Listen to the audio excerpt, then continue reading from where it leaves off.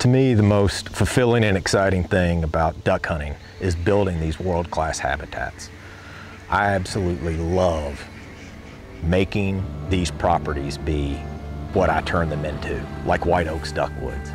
It's a special place and it took years of planning and preparation and all the work that goes into it and all the dreaming of all the plans you do that's what's most exciting and, and most fun for me. It, it's more fun than shooting the ducks.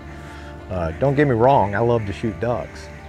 But when everybody is in that duck hole and everybody is, we've had a great hunt, a big group of mallards has just come through the trees and everybody's all smiles and high fives. Everybody's happy and laughing on their way on the boat ride back in. The most exciting thing for me is knowing that I built it. I dreamed this up. I saw this raw land and I saw what it could be. And I made a plan. Really and I executed on that plan.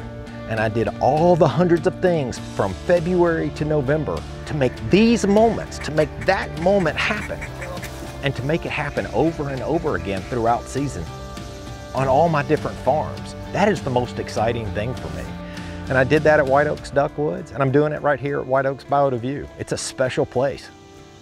White Oaks DeView is a 1,400 acre mecca. It's my next project. And we're now two years into this thing and it's really coming together. You got 400 acres of flooded timber, you got several hundred acres of rest area set up perfectly for, with duck food and blinds and pits.